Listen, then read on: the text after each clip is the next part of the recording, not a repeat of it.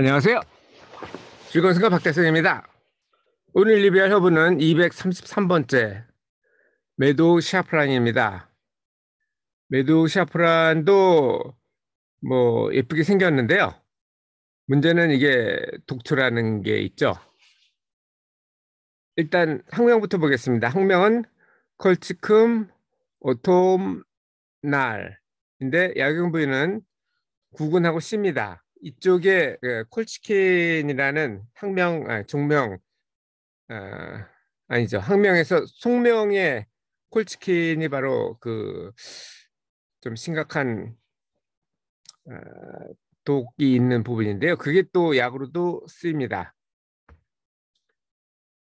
어, 통명은 오톰 크로커스, 콜치쿰, naked ladies, upstart 한글은 번역 없어서 그냥 meadow 샤프란이라고 했는데 여기서 그 naked ladies라는 거는 여기 보시면 아시겠지만 가을에 꽃이 펴요. 그리고 그 다음에 봄에 어, 뭐 꽃이 피면 당연히 씨는 열리는 거고 잎이 봄에 어, 난다고 합니다. 그러니까 그 잎 없이 꽃부터 피는 그래서 naked ladies라고 이름이 졌다고 합니다.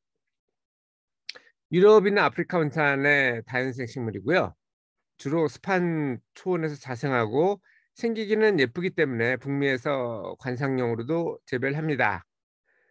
어, 구근의 백색의 신맛이 있는 과즙을 가지고 있는데 거기서 줄기가 올라오고 어, 잎은 좁고 진녹색으로 어, 형성합니다. 아까도 말씀드렸지만 가을에 라일락이나 자주색으로 꽃이 피고 여기 어, 자주색 연자주색이죠. 그리고 그 다음에 봄에 어, 종자가 익으면서 잎도 같이 어, 형성된다고 합니다.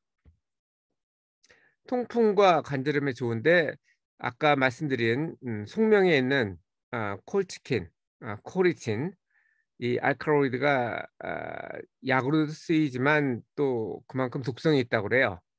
어, 전체 독성이 있지만 그 중에서도 아까 말씀드린 그 구근하고 C가 제일 위험해서 이거는 잘못 먹으면 죽을 수도 있고요.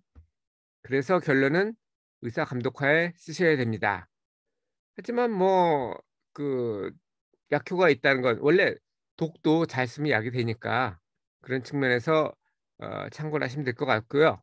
이 내용은 다음 카페 385번에 정리됐으니까 좀 더 자세한 내용이 필요하신 분은 그쪽을 참고하시면 되겠습니다. 이상 오늘도 즐거운 순간 박대선이었습니다. 감사합니다.